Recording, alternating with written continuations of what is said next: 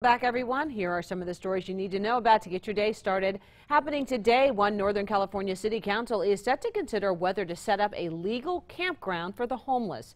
The Chico City manager is asking for nearly $2 million to transform the Silver Dollar BMX property into a shelter. The proposed shelter would include 40 tent sites, six parking spots, and restrooms.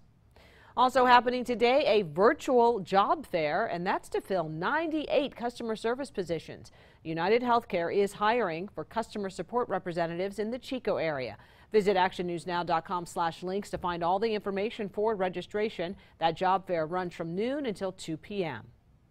There is progress in the national vaccine distribution.